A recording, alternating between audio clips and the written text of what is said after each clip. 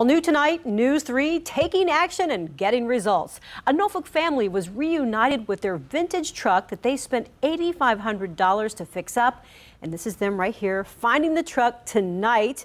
This family heirloom has been with the military family for nearly 50 years, and it was missing for five days until it was located tonight. We brought you this story earlier today when it was still missing, but tonight, the daughter of the family said she got a tip about its location. She says it was spray painted black and returned by someone who says they found the truck. It's a vintage 1974 Ford F100 and was passed down from one Navy vet to another. The family calls it the Green Beast. They just had it restored as a belated Christmas gift for their father.